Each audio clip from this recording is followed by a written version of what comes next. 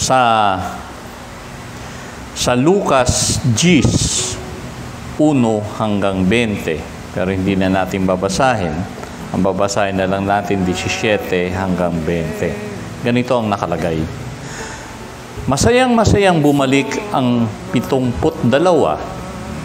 inuulat nila Panginoon kahit po ang mga demonyo ay napapasunod namin dahil sa kapangyarihan ng iyong pangalan 18 Sinabi sa kanila ni Jesus, Nakita ko na parang kidlat na nahulog si Satanas mula sa langit. 19. Binigyan ko kayo ng kapangyarihan tapakan ang mga ahas at mga alakdan at daigin ang lahat ng kapangyarihan ng kaaway at walang makapananakit sa inyo. 20 Ngunit magalak kayo, hindi dahil napapasunod ninyo ang masamang espiritu, kundi dahil nakatala sa langit ang iyong mga pangalan. Ang verse 1, ganito ang nakalagay. Ah, sinugo niya yung 72 mga tagasunod ni Kristo na humayo bawat bayan-bayan at sinabihan niya na kukonti ang mag-aani pero napakalawak ng anhin. Lahat ng mga tagasunod ni Kristo, sinusugo niya na humayo. Lahat, walang exempted doon eh. Ibig sabihin, bawat tagasunod ni Kristo, sinusugo niya na magmisyon. Yun yung gawain natin bilang tagasunod ni Kristo, ang magmisyon. Uh, dalaw-dalawa, sinugo niya, then pumunta sa bawat bayan-bayan. Mayroong theologian na nagsabi, bakit 72 yon? Dahil nung unang panahon daw, actually hindi lang daw 72 yon, kundi nung unang panahon daw, ang paniniwala ng mga tao noon, 72 nasyon meron ang buong mundo. Kaya isinulat ni Lucas na 72 kasi it represent ang 72 nasyon. Buong mundo, humayo kayo. Kaya 72 yun. Sabihin, sila ay nangaral, nagturo, at nagpagaling ng mga may sakit. Yun yung misyon. Yun yung unang punto ko. Ang bawat isa ay tinawag magmisyon. Physical, magpagaling ng mga may sakit. Emotional, healing. Diba? Yung mga may karamdamang emosyonal. Kinakawang sila yon, di ba? Then, spiritual healing, yung magbalik loob ang tao sa Diyos. Diba? Yun ang misyon ng bawat isa sa atin. Spiritual, emotional, at physical. Pagaling yung mga may sakit pakainin yung mga nagugutom. Yun yung misyon ng bawat Kristiyano.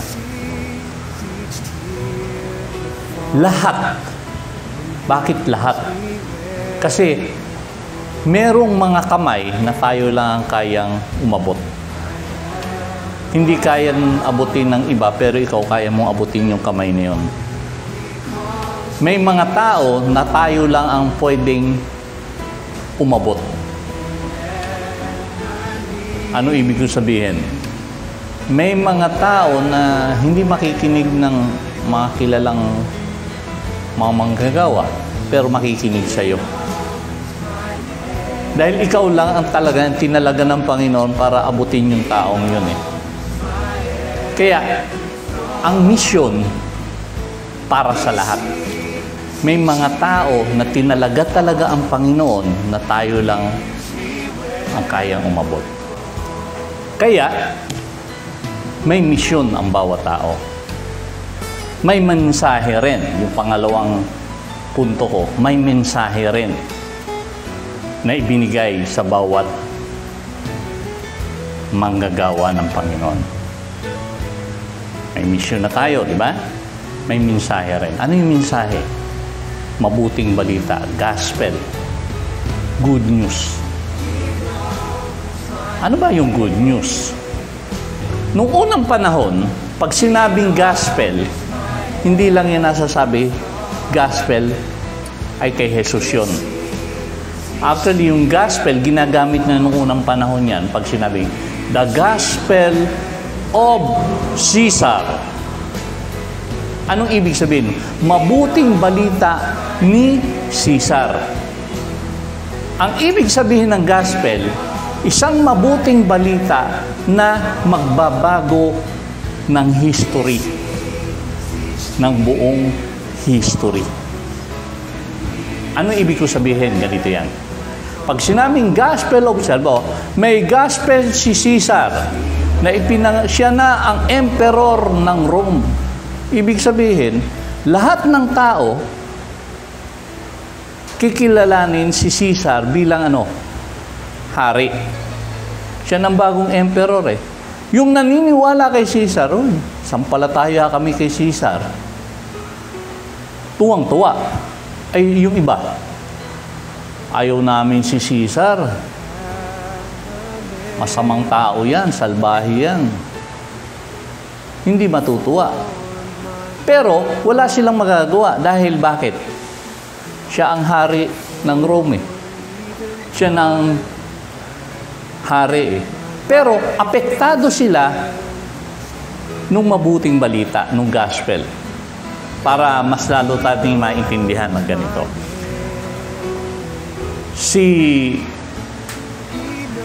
General MacArthur, bago siya bumalik sa Pilipinas, sinabi niya yun, no, word na, I shall return.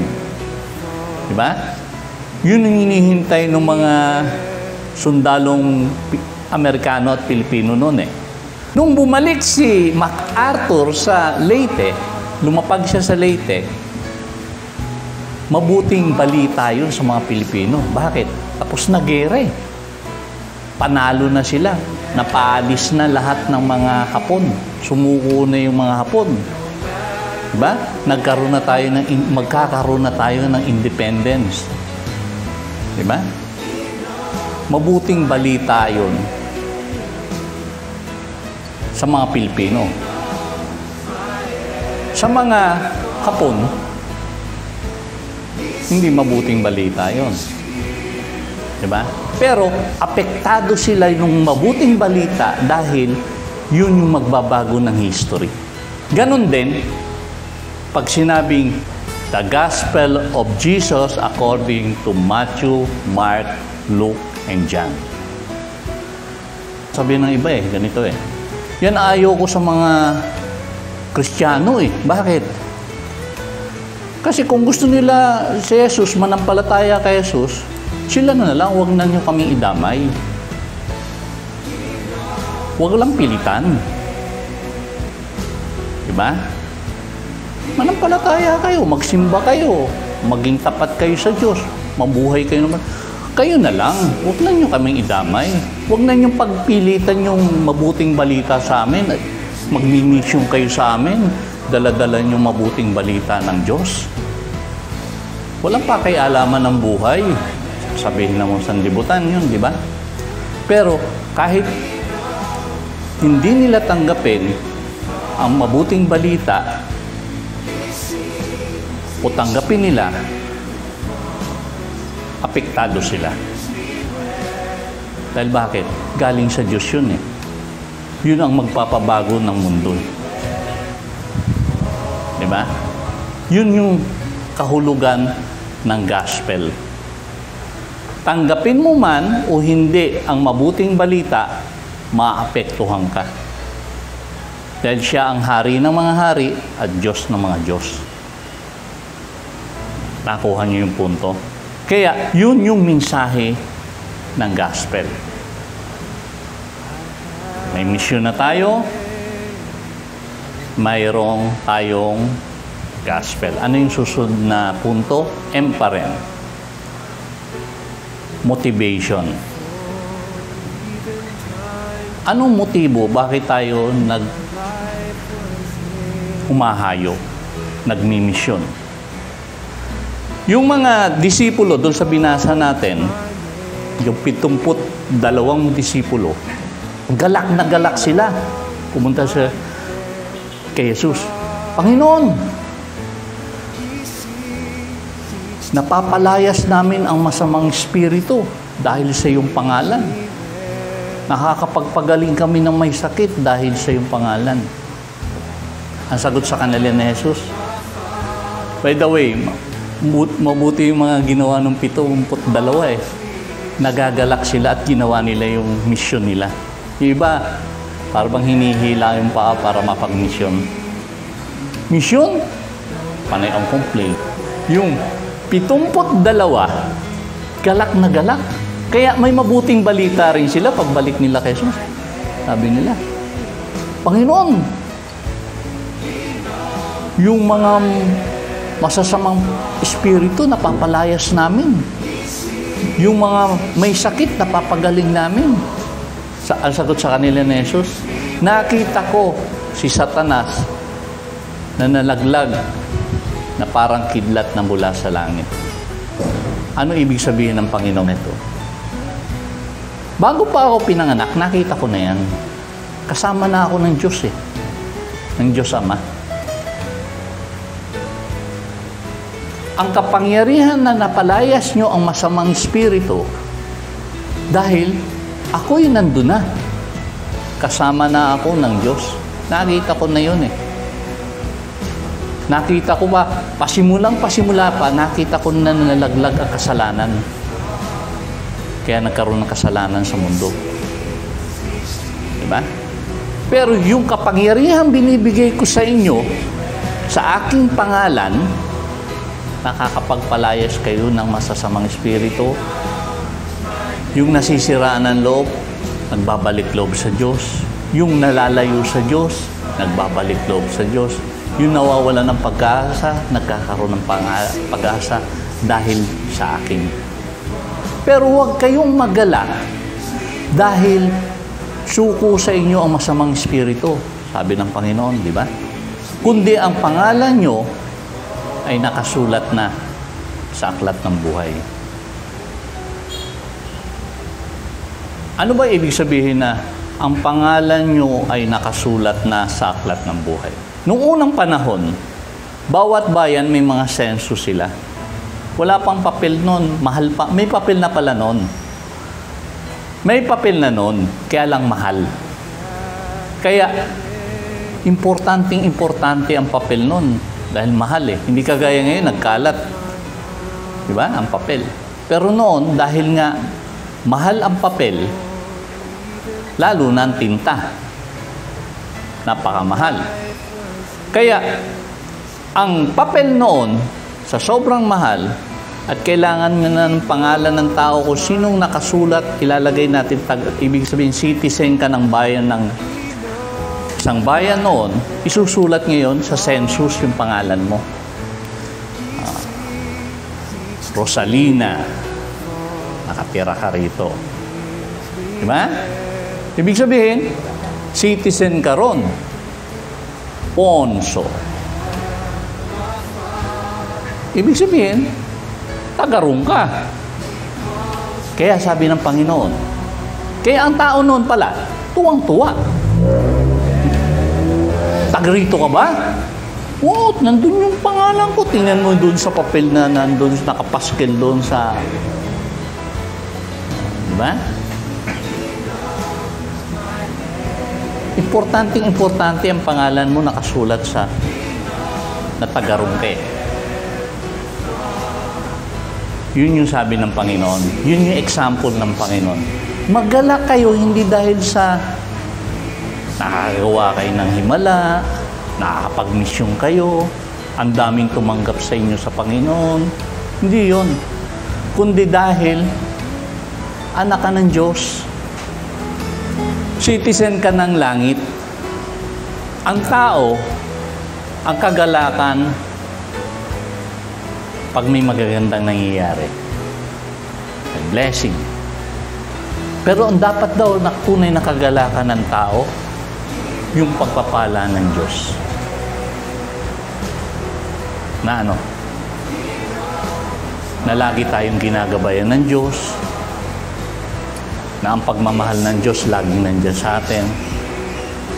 Huwag doon sa mga bagay na nakikita.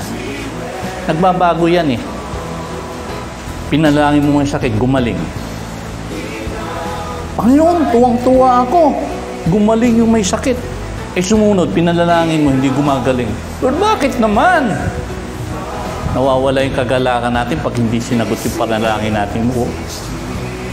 Eh, eh ako yung mismo yung may sakit eh, hindi mo pinagagalingan. Lord, bakit? Nawawala, di ba? Kasi ang kagalakan natin nakasalalay sa nakikita ng mata natin. Misplaced joy. Dapat ang kagalakan natin sa mga bagay na spiritual. Diba? Kaya yun yung sabi ng Panginoon eh. Magalak kayo hindi dahil suko sa inyo ang masamang espiritu. Hindi dahil sa mga nakikita nyo, puro magaganda. Kundi magalak kayo dahil anak ko kayo. Ang pangalan nyo nakasulat sa aklat ng buhay. Yun lang po.